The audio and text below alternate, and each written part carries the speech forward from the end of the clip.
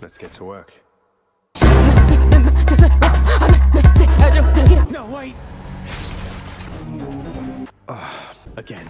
I'ma put her in a dungeon under un- Blasted pact of punishment. No, them bitches ain't eating it, dying of hunger. Who the fuck am I me? Who the fuck is this hoe? And yes, maybe just a touch of Tourette's. Give my words, Tourette's gonna get my berets. Your medication Now that is what I call a deadline. Ha ha ha ha ha. This right here might make a bitch oh, and this right here gon' make a bitch out. And if we being honest, I am such a great. But this is what I do when a bitch breaks off.